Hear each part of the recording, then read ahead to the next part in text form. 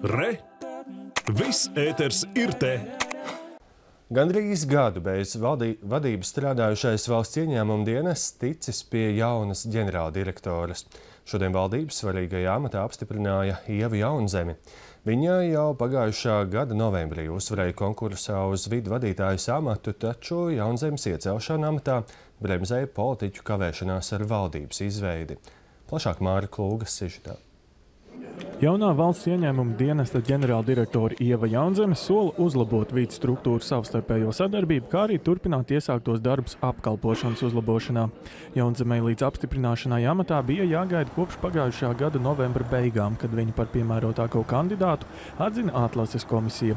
Pa šo laiku Jaunzeme pētījusi labo praksi ārvalstu ieņēmuma dienestos. Es esmu diezgan daudz lasījis OECD materiālus par veiksmes stāstiem un par to, ko darīt tieši ar vissāpīgāko tēmu ne tikai Latvijai, bet visai pasaulē. Principā ir pieņ, pievienotā vērtības nodokļa izkrāpšanas gadījumiem. Ievai Jaunzemē ir liela pieredze valsts pārvaldē. Viņa vairākus gadus vadīja konkurences padomi, kā arī ieņēma augstus amatus ekonomikas un labklājības ministrijā.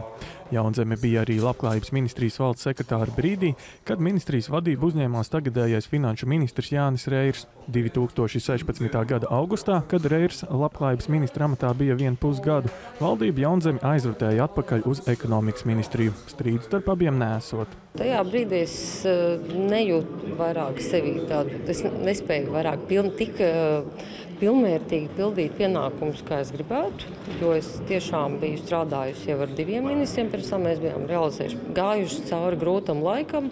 Es domāju, ka Reira kungam vajadzēja enerģiskāku ministru valsts sekretāru. Mani uzstādījumi atšķīrās no uzstādījumiem, kas ir labklājības jomā, un šajā gadījumā uzskatu, ka Vits nekādā gadījumā nav spāņu. Un līdz ar to Jaunzemes kundze būs ļoti labi būs sastrādāties ar, ar, gan ar kolektīvu, gan ar uh, politisko vadību. Un, um, tos uzdevumus, kas ir nepieciešams vidam, mēs varēsim ļoti labi realizēt.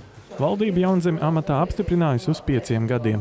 Iepriekšējā vidu vadītāja Ilze Cīru negaidīti nomira pagājušajā gada 10. martā. Māris Klūga, Olavs Perševits, Latvijas televīzija.